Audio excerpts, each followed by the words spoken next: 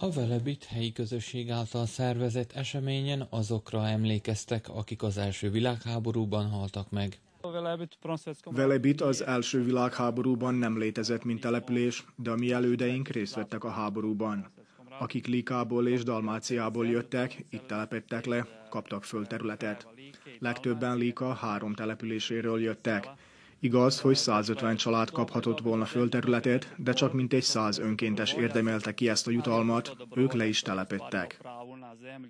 1964-ben a nagyapák építették fel a faluházat, míg a most velebiten élők szülei építették fel a postát és az általános iskola épületét, nyilatkozta Milos Krávics velebiti lakos, és hozzátette, hogy nem cserélné el a falusi életet városira. Velebitre 1921 és 1930 között 150 ember költözött, ők Velebit alapítói.